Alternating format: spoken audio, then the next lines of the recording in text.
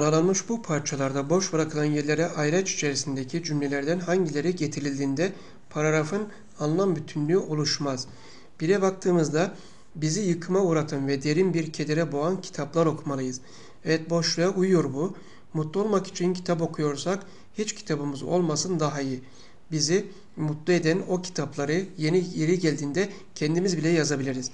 Bizi yıkıma uğratan ve derin bir kedere boğan kitaplar okumalıyız. Öyle ki bir kitap kendimizden daha çok sevdiğimiz birinin ölümüne tanık olmuş kadar, ormana sürgün edilip herkesten uzaklaşmış kadar etkilemeli bizi. Evet bakın e, bu uygun. Burada bir sorun yok.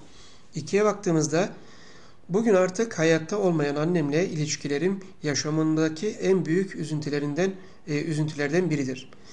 Annelerle çocukların birbirini anlayamadığı kimi dönemler vardır. Böyle bir dönemden ben de geçtim. Bugün artık e, hayatta olmayan annemle ilişkilerim yaşamındaki en büyük üzüntülerden biridir. Çünkü o zamanlar yani niçin böyle bir üzüntü vardır? Dünya görüşüyle benim karşımda yer almıştı ama hiçbir zaman beni reddetmedi, tersine anlamaya çalıştı. Bense onun farklı görüşte olmasını kabul edemedim. Yani bir olumsuzluk var. O halde bu bir üzüntüye sebep olmuştur. Bu da uygun görüldüğü gibi. Üçe bakalım. E, bu duygunun hakkını veremez, içe kapalı bir hayat sürerdik. Sevgi yalnız insana vergi olmasa da insanın yine de en ulu duygusudur. E, bu duygunun hakkını veremez, içe kapalı bir hayat sürerdik. Bakın hiç olmuyor zaten akış olarak. Yani bir akış olmalı ki bu devam olmalı. Hakkını süre, hayat sürerdik şeklinde. O halde bu uygun olmadığına göre cevabımız D'dir. Bu paragrafın anlamlı bir bütün haline gelebilmesi için numaralanmış cümlelerden hangileri yer değiştirmelidir? Burada baktığımızda 5. cümlede bu alıntılar denmiştir. Söz konusu alıntılar bakın tarihi alıntılar şeklinde 3'tedir. Yani 5 numaralı cümle 3'ten önce gelmeli. Doğal olarak 4 ve 5'in yerini değiştirdiğimizde akış sağlanacaktır. Cevap D'dir. Bu paragraf ikiye bölünmek istense ikinci paragraf numaralanmış cümlelerin hangisiyle başlar?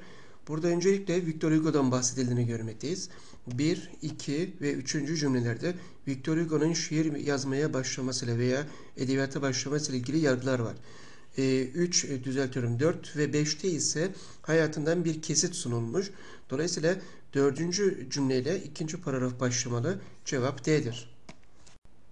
Numaralanmış bu cümlelerle anlamlı ve kurallı paragraf oluşturulmak istendiğinde hangileri gelişme bölümünde yer almaz? Şu şekilde düşünülebilir. Sadece ebeveyn oldukları için sert davranmak gerektiğine inanan sallanan parmak, inanarak sallanan parmak eminim hepimizin içini yaralamıştır zamanında. Sonra önemli olan o parmağın doğru yer ve zamanda sallanması. Yani çocuğun ne söylediğini, ne istediğini dinledikten ve anladıktan sonra e, ve devam ediyoruz bakın. Olmak zorundaydı da çünkü onlar anne baba olarak geleneksel rolleri olduğu gibi benimsemişlerdi. E çünkü anne baba çocuğa yol gösterir, doğruyu yanlışı öğretir. Yani parmak sallamayla tabii ki çocuğu uyarma, ona yol gösterme anlatılmıştır. Bu açıdan bu cümleler bağlantılı. Ama 2 e, ve 3 bu konuda bağımsız görünmekte. Çocukların en büyük sıkıntılarından biri parmak sallayan yetişkinlerdir ve hepimizin çevresinde bunlardan vardır. Yani bu anlamda tamamen yanlış olarak yaklaşım bu. Üçe baktığımızda en azından amigdalamız gelişene kadar Anne baba rolü önemlidir çünkü onlar sığınaktır, güvendir, dürüstümüzün mimardır. Yine tersten bir yaklaşım o halde 2 ve 3 paragrafın dışında kalacaktır. Cevap A'dır. Bu parçanın anlamlı bir bütün oluşturabilmesi için parçada 1, 2 ve 3 ile belirtilen yerlere 1, 2 ve 3 numaralı cümleler aşağıdakilerin hangisine verilen sırayla getirilmelidir. Bu sıra C'deki sıradır. Yani 3, 2, 1 şeklinde tersten. E, denemesini görelim. Söz güzel tabii ama ben kendimi ne o kadar iyi bir mizahçı ne de o kadar acıma duygusu ağır basan biri olarak görüyorum. Bakın bir tarafta mizah, diğer tarafta acıma. Üçe bakalım. Yani dünyayı komedi ya da trajedi olarak görmüyorum, göremiyorum.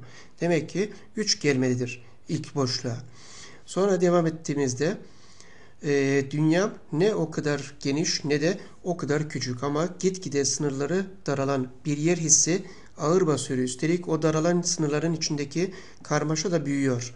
Ve ben bu karmaşaya bakın karmaşa büyüyor ve ben bu karmaşaya daha farklı bakmaya çalışıyorum.'' Demek ki 2'ye de bu cümle gelmelidir. Mesele e, aslında şu. E, insanın kendini özgür bir kişi olarak hissedebilmesinin zaman içerisinde erozyona uğraması. George Orwell'ın e, 1984 romanının içine düşmüş bir e, gibi hissediyorum kimi zaman. Bazen Kafka'nın davasının içine ama sonra bunlardan sıyrılıyorum. Hızlandırılmış bir tarihi film izler gibi.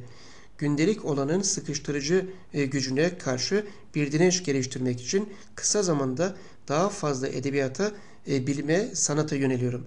Evet bu şekilde oluşabilir. Parçamız cevap C'dir. Bu parça ikiye bölünmek istense ikinci paragraf hangi cümleden sonra başlar? Parçamızda genel anlamda çeviri üzerinde durulduğunu görmekteyiz. 1, 2, 3 ve dördüncü cümleler aynı konudadır. Yani çevirinin yapılması konusunda nerelere dikkat edilmesi gerekiyor veya neden duyarlı olunması gerekiyor hakkındadır. 5 ve 6'da ise e, çeviride eser seçimi üzerine yoğunlaşıldığını görmekteyiz. Dolayısıyla 5. ve 6. paragraflarımız ikinci paragrafı cümlelerimiz ikinci paragrafı oluşturmakta. E, ikinci paragraf hangi cümleden sonra denmiştir? Demek ki 4'ten sonra başlamalıdır. Yani 5 4'ten sonradır. Dolayısıyla cevap D'dir. Numaralanmış bu paragraflardaki boş bırakılan yerlere aşağıdaki yargılardan hangisi getirilemez? Paragraflarımızı incelediğimizde e, birinci paragraftaki boşluğa C'deki ifadeyi getirmek mümkündür. E, ikinci paragraftaki boşluğa E'deki ifadenin gelmesi uygun. E, üçteki boşluğa D'deki ifadenin gelmesi uygun. Ve dörtteki boşluğa da B'nin gelmesi uygundur. A'yı herhangi bir yere getiremeyiz.